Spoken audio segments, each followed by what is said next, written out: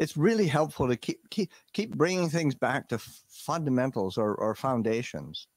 Um, that that sabha papa karnang kusala supa sampada sajita pariyota etang buddha sasanang. So that that sense of yeah that re- refraining from all evil, the the doing of that which is good, purification of the heart.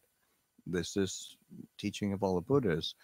Um, the and that is that needs to be done like holistically uh, and and on a certain level there is no end to uprooting the the unwholesome uh, in the sense of if that's one's focus then that uh, uh, on a certain le- there will be no end to it. Um, because one needs to be giving attention to the wholesome one needs to be giving attention to the say a purification and and and the and and the purification uh, on uh, especially when we we think because we do tend to think of things in terms of doing and uh, uh, so and and as we practice we get you know we get engaged in in the doing. And and the the refraining from evil the cultivation of the good those are skillful doing. But i think purification is is is really about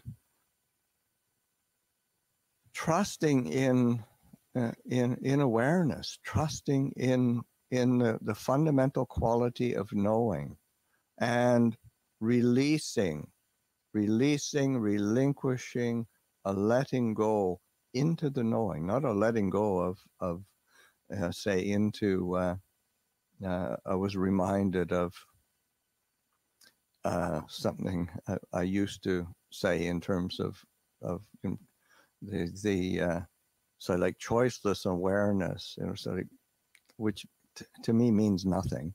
Um, but that sense of uh, kind of okay trying to be in with the knowing and then ending up in some kind of nebulous nothingness which is really not what what the point of it is so that but that that trusting in the knowing trusting in awareness and releasing relinquishing giving up to surrendering to within that that knowing.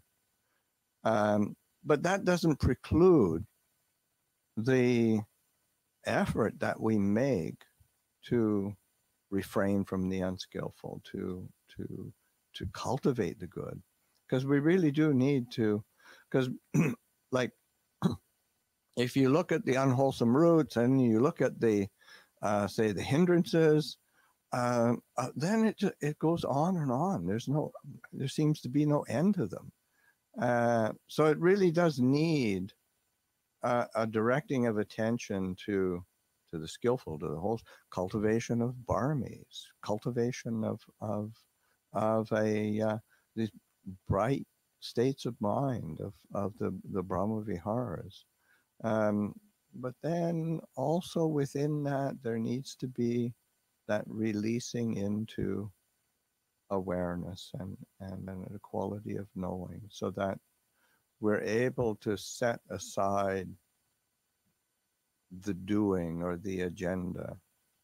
And, and that brings us back to that kind of fund.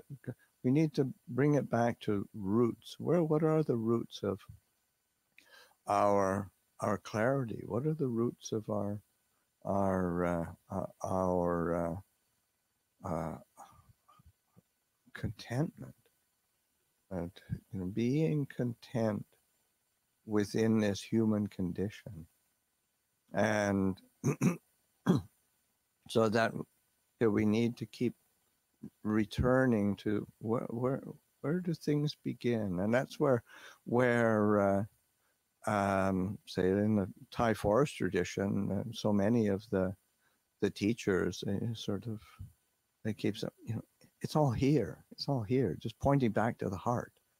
Um, uh, and because uh, we tend to to overthink things or overanalyze things and and and think it's actual discrete bits of knowledge that we should have but it's it's, it's like our has Ajahn Chah says it's really this is Dhamma is a language of feeling. And so it's a heart it's a heart feeling